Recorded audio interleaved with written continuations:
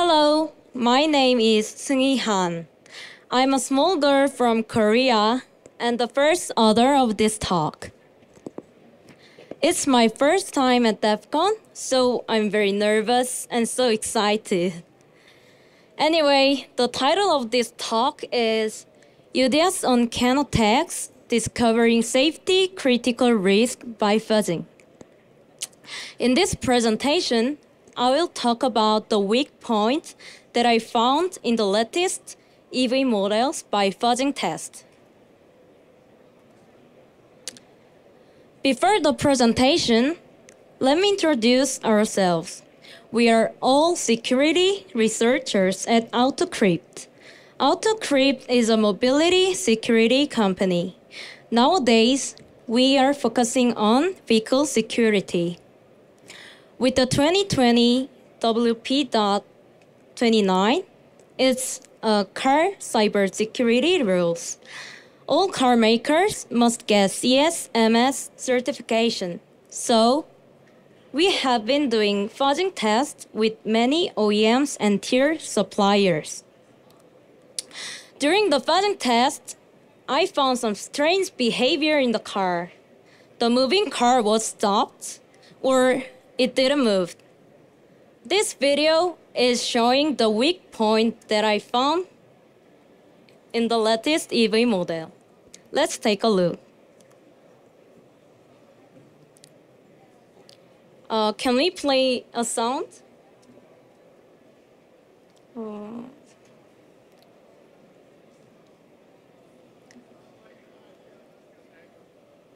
Okay, let's see one more. The moving car was stopped. Are you interested? now, I, I will explain why this happened, so please pay attention. Contents are as follows. First, I will explain UDS and fuzzing.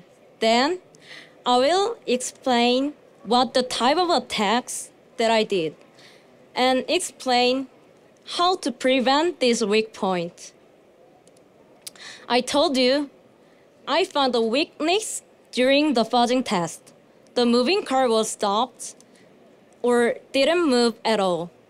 I will explain how these problems are connected to UDS and what caused them. First, UDS is a protocol used for communication with vehicles. It is defined in ISO 13229. I don't have a car, but if you have one, you probably go to a repair shop when something goes wrong with your car, right? The tool used to find out what's wrong is UDS. During this process, the diagnostic tool and the car communicate using UDS to determine the problem. As I mentioned, UDS services perform important functions, so not everyone can use these services freely. You can see some of the security measures on this slide. I will give you more detailed later. To ensure that UDS is well protected, many car companies do fuzzing tests. Fuzzing is a testing method where random or unusual data is fed into a system to find problems.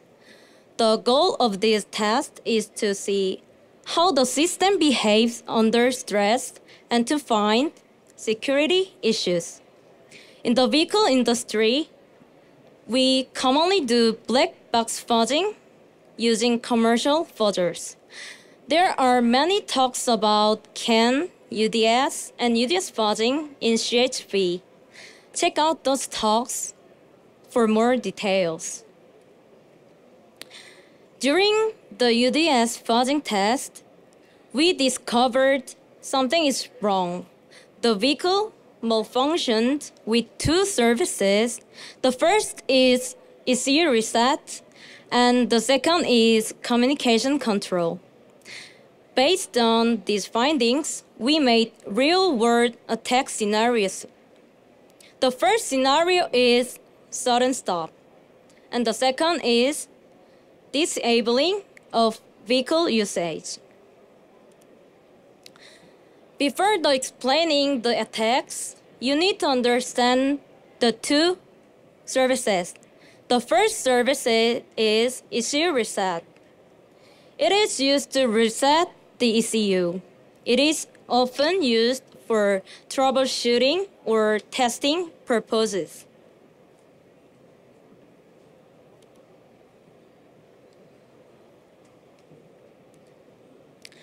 This is the actual message that I did. You can perform hard reset with the first subfunction. This is the hard reset message. And you can perform soft reset with the third subfunction. It's the soft reset message.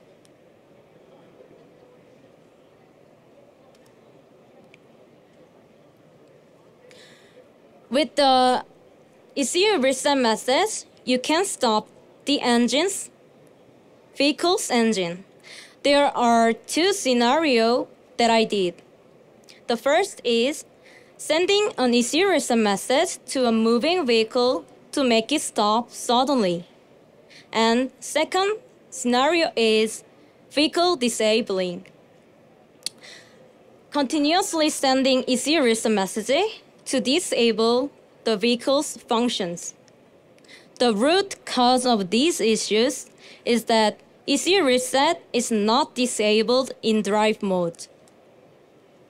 Normally, this service is restricted during driving because it can be dangerous. And ISO 14229 says that the condition of server is ignition is on and system not be in an operational mode. I tested this on a new latest EV SUV model, and the target ECU is the gateway control unit. I conducted the test while the vehicle was driving. Here are the attack steps. Connect the laptop to the vehicle's OBD port using a CAN interface. And just start the engine.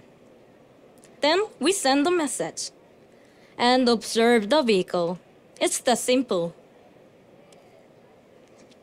This photo shows the hardware setup.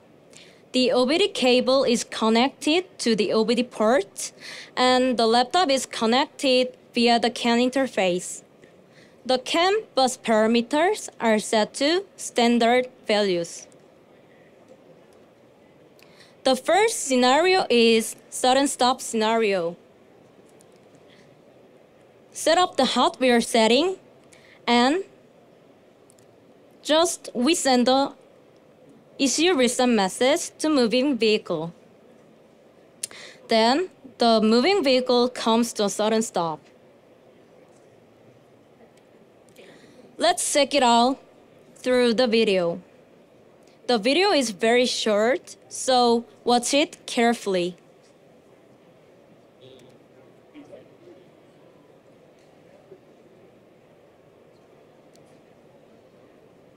Um, no sounds, okay?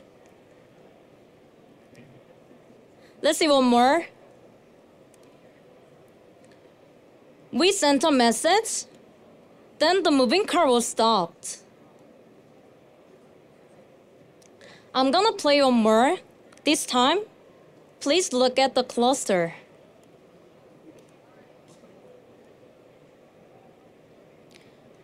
After the message, the cluster was turned off. It was rebooted, but the car shut down. The video on the left let the video on the left shows the exterior.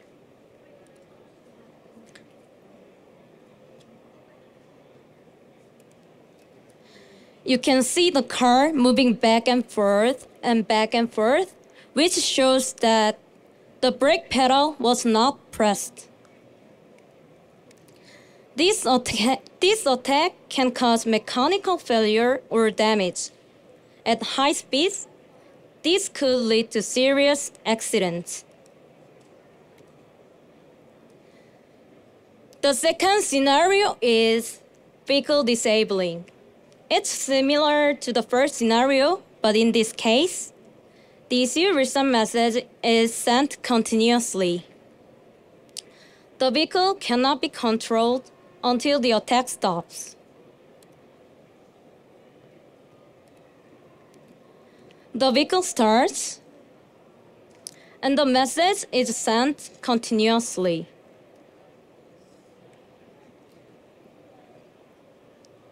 The vehicle will not start and the gear shifting is disabled. The vehicle is completely uncontrollable.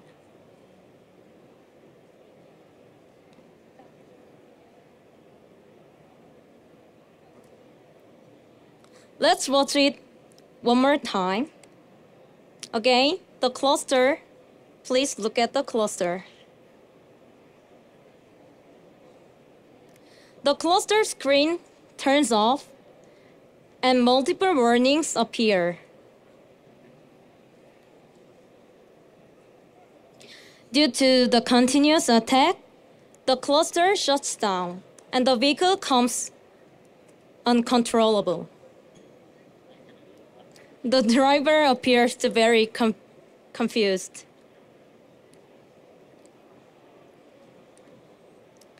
Here are the logs of the ECU reset attacks. Some parts are blurred for security reasons.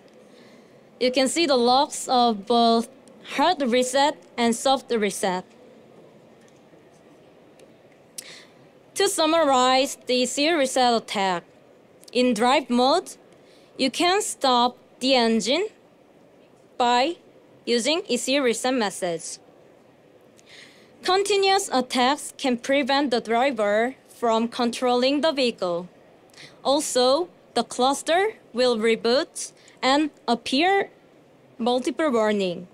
These attacks can be very dangerous on the road.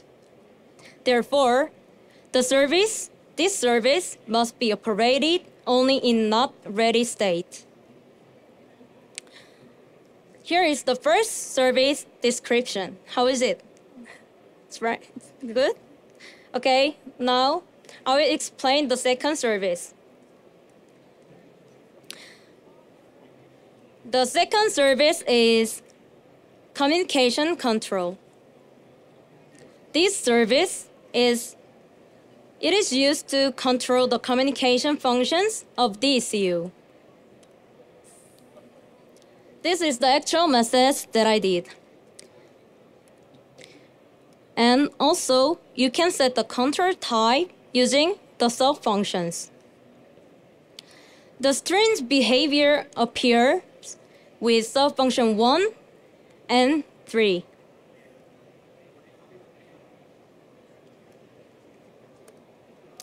Use sub function 1 to enable Rx and disable Tx of ECU. Um, this is the message for sub function 1. And you also use sub function 3 to disable Rx and Tx. This is the message for sub function 3. You can control the issue's communication type using this method. An attacker can disable TX and RX of the ECU by transmitting communication control message. I performed two scenarios. scenarios. The first is brief pause and sudden movement. And second scenario is vehicle disabling. The root cause of this strange behavior is that communication control is not disabled in drive mode. And also, this service does not not require security authentication. The first scenario is brief pause and sudden movement. set the hardware setting, and set the gear to drive. Then just resend the message. The driver, driver will release the brake pedal to move forward. But the vehicle does not move for a few seconds even when the foot is taken off the brake pedal in drive mode. After a few seconds, the vehicle suddenly moves. Okay, let's check it out through the video.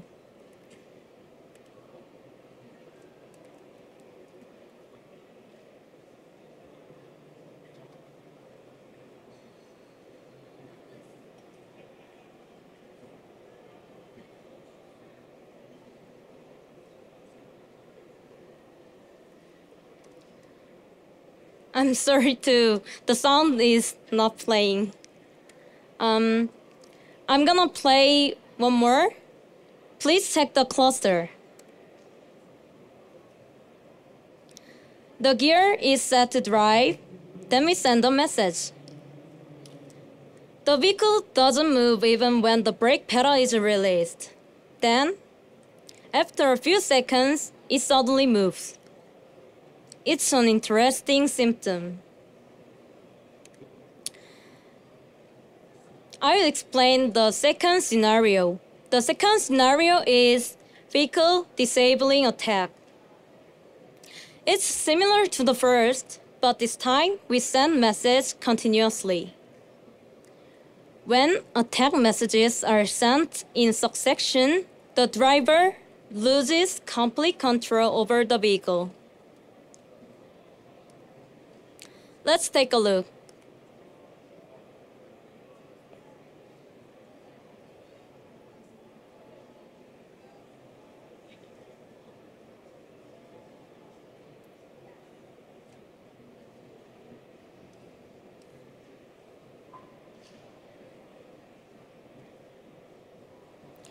We sent message continuously.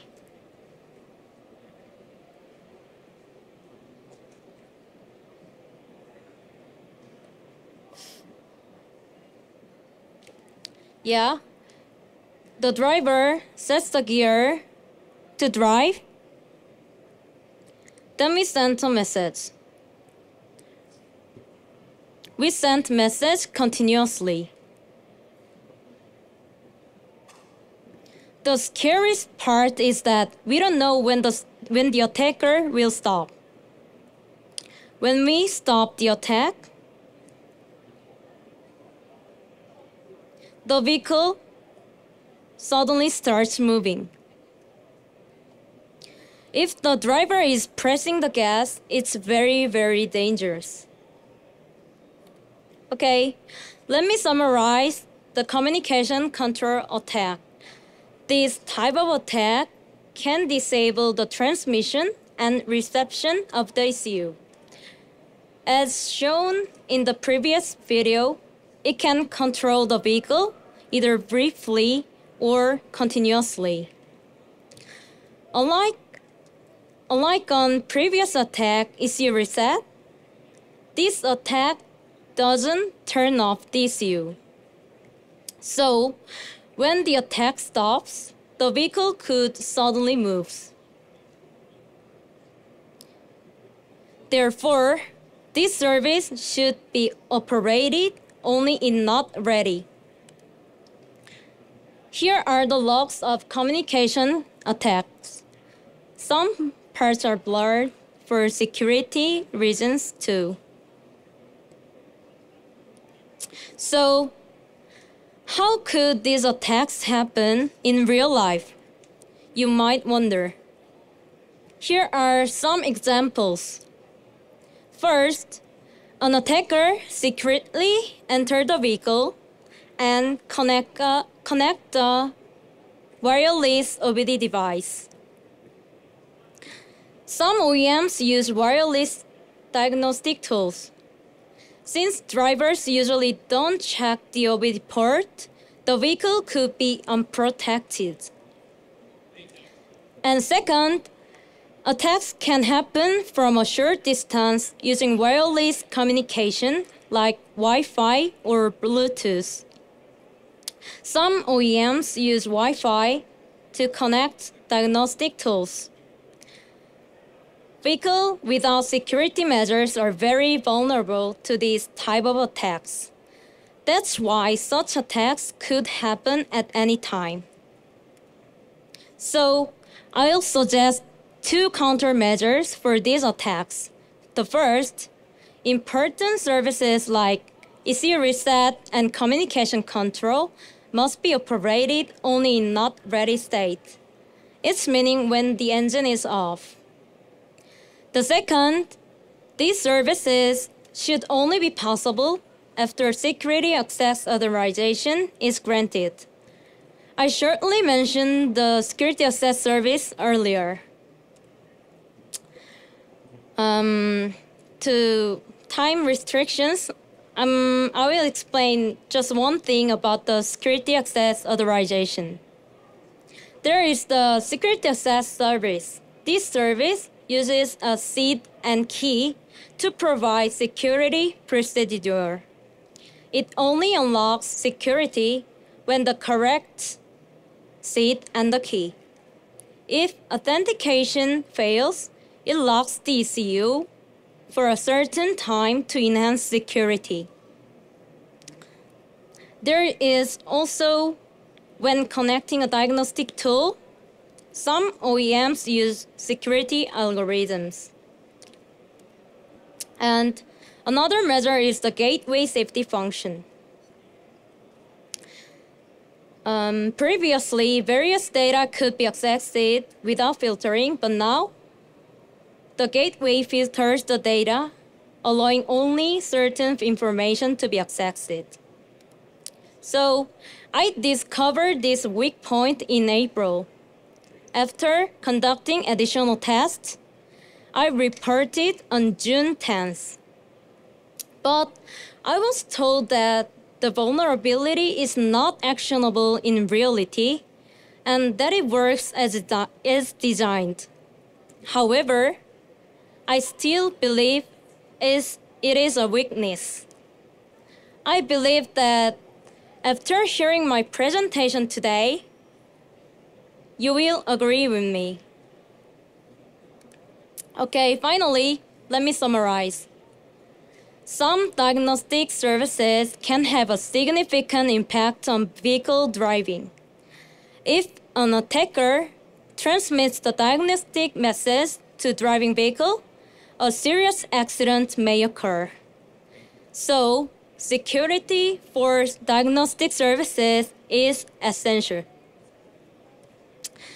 That's all my, for my presentation. Thank you for listening. Okay, my name is Seung Han. I'm from South Korea, not North. Thank you.